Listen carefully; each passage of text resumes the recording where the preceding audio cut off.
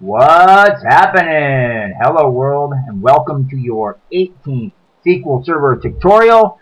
My name is Johnny DeLuca and today I'm going to be showing you how to place an index in a file group using SQL Server Management Studio and how to do the same using a T-SQL script. So to begin, if you want to place an index in a file group other than the primary file group, you must first have a file group that includes a data file. The following code is going to add a second file group and one data file to the AdventureWorks 2012 database. So, we're going to go up here before we start this time, and I want you to copy this down and save it. And we're going to be running this script right here. Alright. Now, going to execute this guy. Commands completed successfully. Okay, now that we have the pieces in the in place, in the exercise I'm going to be running you through now, you'll modify an existing index to move it to a new file group. Okay.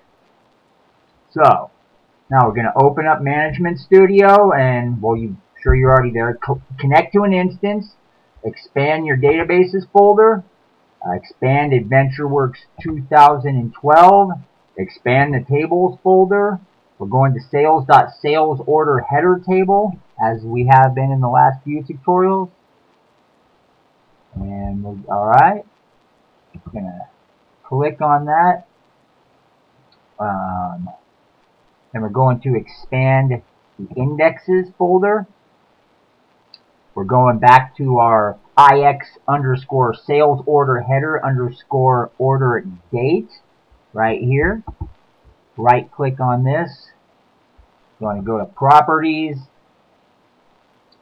Then we're going up here to the select a page pane and we're going to select storage.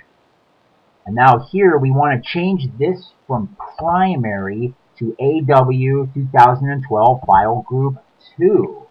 Alright? And then from here we click OK.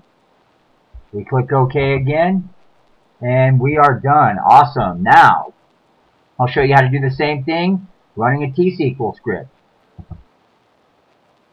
We're going to go up here. We don't need this guy anymore. We can just get rid of it. Yeah. New query. Copy this code down for your records.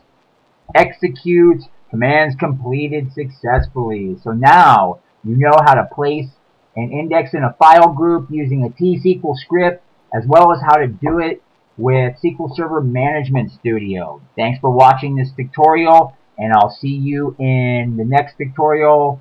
I believe it's the 19th one. We're almost at number 20. Thanks for being with me on this journey.